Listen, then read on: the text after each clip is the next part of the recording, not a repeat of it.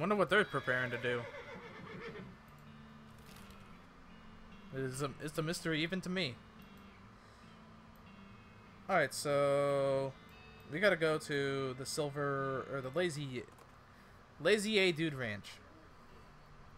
Off to the side of the trail, you spot a cluster of gin blossoms. It's strange to see them growing so far away from Allison Road, which is their native habitat.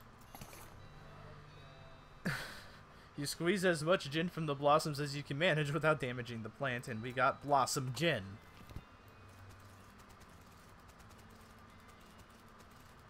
Hey, dude, what's up? Yes, here's your army, here's your hat, and I got the strange head sack. Okay. Let's see what it does.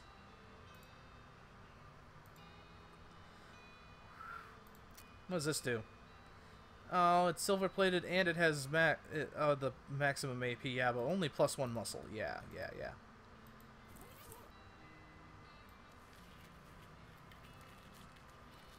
Oh my god, I look like a I look like a stupid fidget spinner. Ah, let's go to the circus. Well, this is a little weird. You didn't expect to find a circus all the way out here. There's basically nobody around for miles. There's a rodeo clown manning the ticket booth. Well, there hasn't actually been a rodeo since the cows came home, so I guess he's just a clown. Ah, clowns. Yeah, I hear ya. Them fellas put me right off my feed. They're creepy. When I was little, my uncle would give me nightmares with old stories about them. Oh, sure, you mean the old tales about demon cows and demon clowns fighting down in hell? Yeah, and how rodeo clowns dress up like that because the first rodeos were reenactments of those battles, and it became a traditional thing. Hmm. I remember them stories from when I was a youngin' myself. Ain't thought about it in that in decades. Don't be fouling your britches, though. These clowns is just fellas in makeup. Yeah, but it still keeps me out. As you approach, as you approach, the clown puts on that basically cheerful facial expression that retail employees use when the last thing they want to deal with is a customer, but they're not allowed to say so. Oh boy, Granny Kickass knows all about that, and so do I.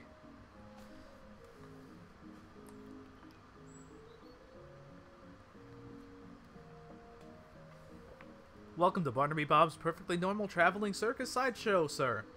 How can I help you? I'd like to run away with the circus, please. Heh! Aren't you a little too old for that? Sorry, we aren't hiring.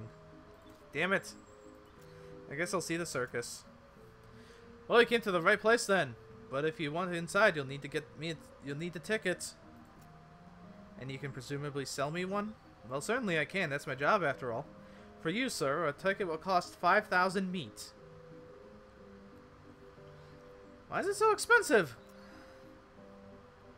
Well, now this ain't no podunk little traveling circus. We got rides, games, food, and an amazing demonstration of knife throwing skill by none other than Barnaby Bob himself.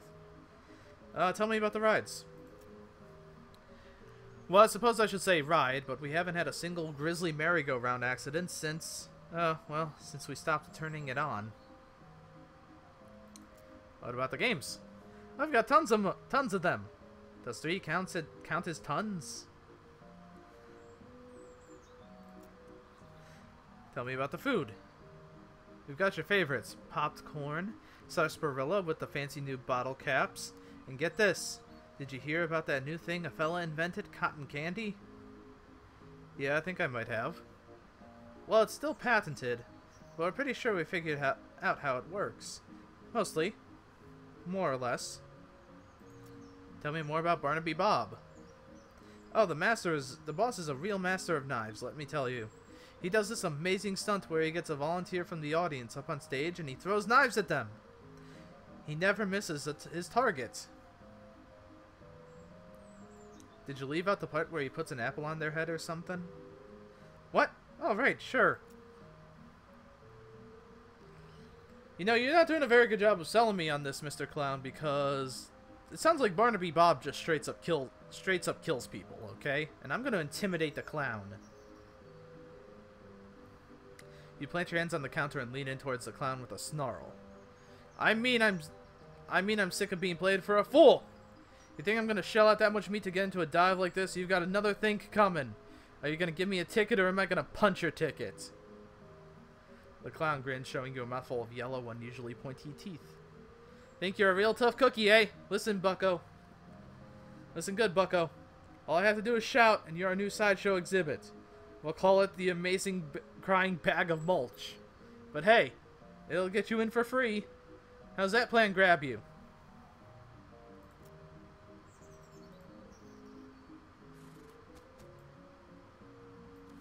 God damn it, 5,000 meat? We only have 650. God damn it.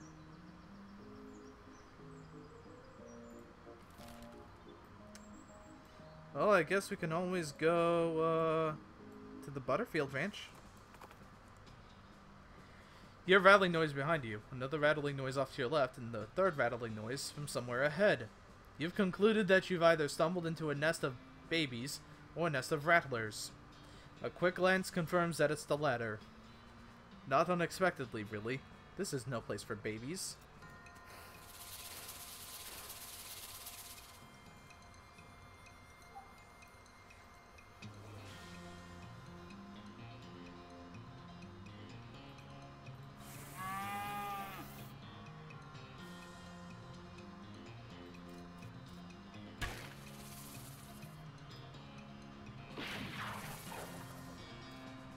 Oh, how much he... Oh, he whiffed.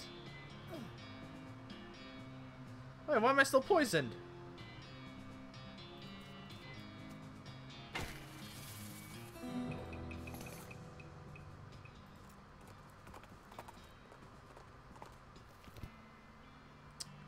I already see that things are not going to go very well. A can of tuna? You, you're gonna have to deal with this cow if you want to explore the area. Okay, well.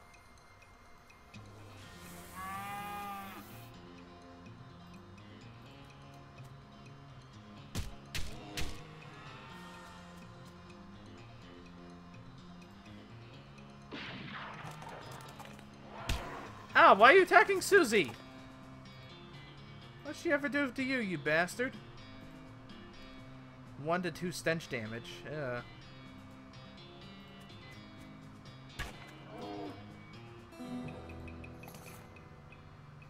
Tainted beefsteak, more thick leather. okay. Can I? I need to level up, I think. Um. 63, ouch.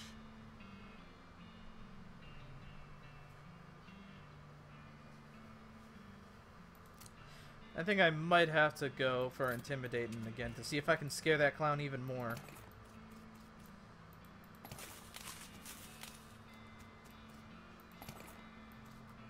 I got a red hot poker. Is that a melee weapon?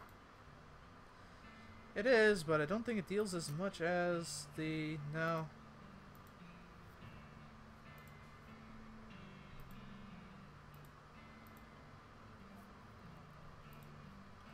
Six to nine. The cavalry saber is eight to nine. The fancy knife is seven to nine. Yeah. You notice some words carved into the side of the outhouse. Curly was here. You recognize that name. Curly, Curly Butterfield, the legend of Curly's meat. Looks like maybe this outhouse is worth investigating. Luckily, you don't have to actually go inside the outhouse, because once you open the door, you find a map scratched onto the inside of it. The map reveals the location of a mine just west of the ranch, labeled Coal Ridge.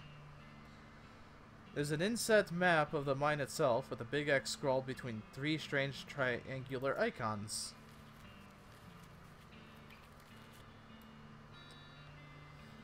To your horror, you see that every single cow in the Butterfield dairy herd is now an Ungulith, an infernal cow spirit bound in stone. You know what? Yeah, let's take him on.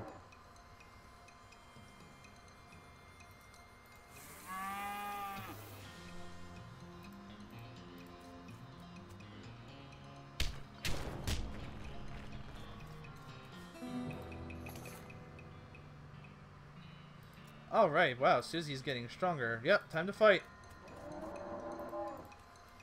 Pretty sure I can just kill this one. Yep, there we go.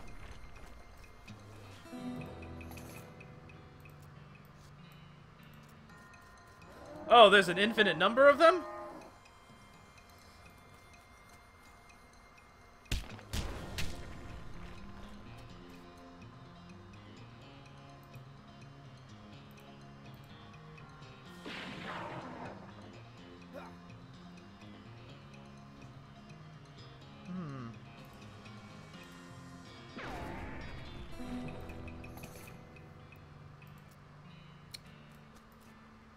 Uh, god damn it. Well, okay, it's another new grinding spot. A wave of heat hits you from behind. You turn around to see a hellcat pawing the ground and eyeing you with ill intent in its dead, black, demonic eyes.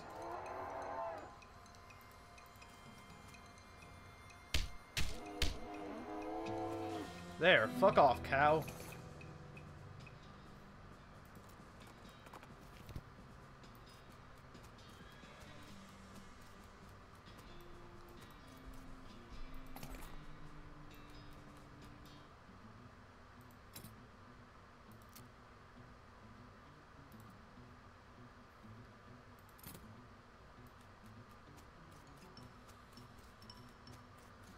Why are there lockers here? There's a row of lockers here. Must have been used for storing the personal effects of the fellers who used to work the mine. The first one is labeled Ellisbury WM and doesn't have a lock on it. The label on the second one is covered in some kind of white goo. Ew. The third one is labeled Loose Ben and has a combination lock. Okay, well, time to open the second locker. You open the door to reveal a skeleton covered in the same white goo that was on the outside of the locker. Ah, you get it. This guy must have died after his co-workers played a prank on him where they stuffed him into his locker and then filled it with shaving cream. I can't believe you dang jerk stuffed me into my locker and then filled it with shaving cream. I died from that. he also skeleton. Confirming both your insight and his vengeful, murderous intent.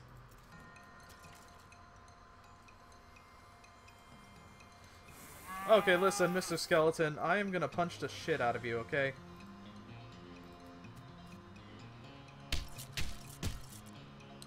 And then you're gonna get shot.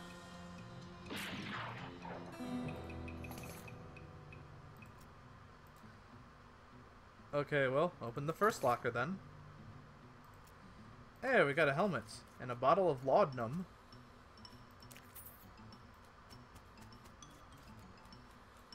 It's an exposed meat vein. Now let's go deeper. Tie her up to the crossbeam and climb down. Is there an evil calf? What the hell? Oh, I got Curly's compass. Okay. Does that help me?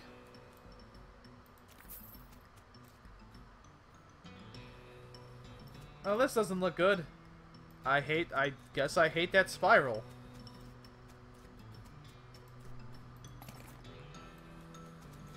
Ew, it's a bleeding, it's a bleeding meat vein.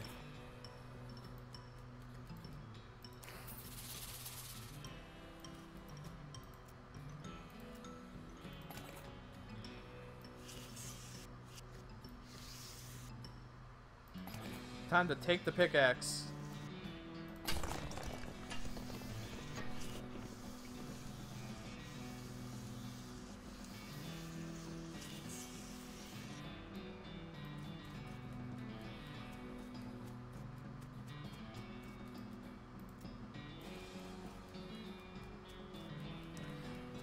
Okay, despite the game, how the game looks, okay, this has been, this is being a very cool game so far. I don't have any new place to go, though.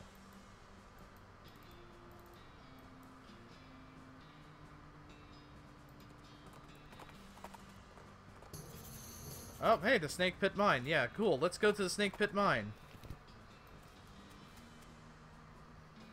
You look at the mining equipment. You have no idea what any of it does. I'll, I'll ask Susie to explain it to me. Hey, Susie, what? I just want to tell you about some of this mining stuff. Um, okay. So first here, this is an automatic Jack Rock. Jack Rock Powderer. Jack Rock Powderer. And this thing over here, this thing is used to extract black slag and then grind it. and the third machine is uh, a, a wet ash dredger.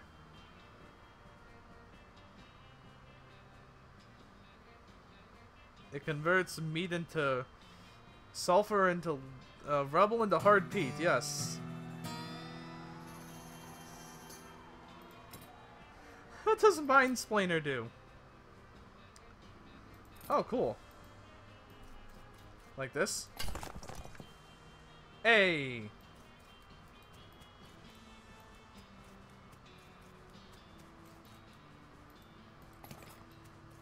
A floral ring, interesting. Oh god damn it. There's a there's a I can't get to the suspicious cactus that's all alone. Why not? A snake, eh? Time to fight.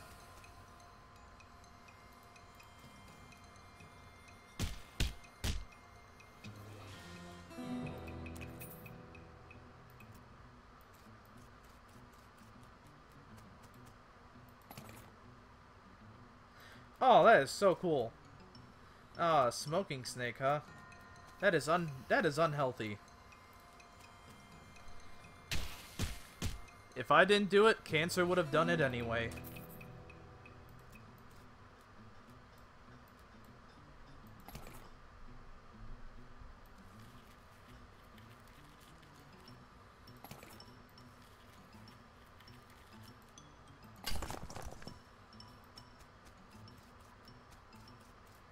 Oh, the den is full of snake eggs, eh?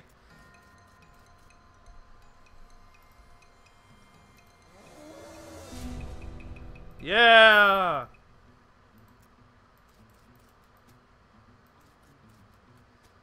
Boss fight.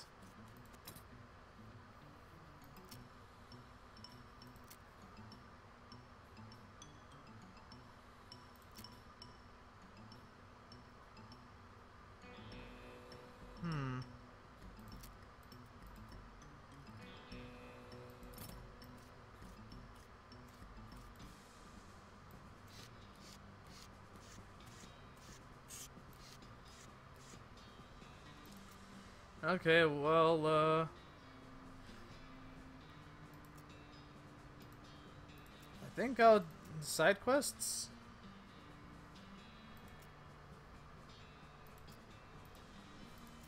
Okay, what about the main quest? We're gonna move on westward, I recommend. Oh yeah, the, uh... The, the railroad. Let's see if anyone else in Dirtwater needs stuff done.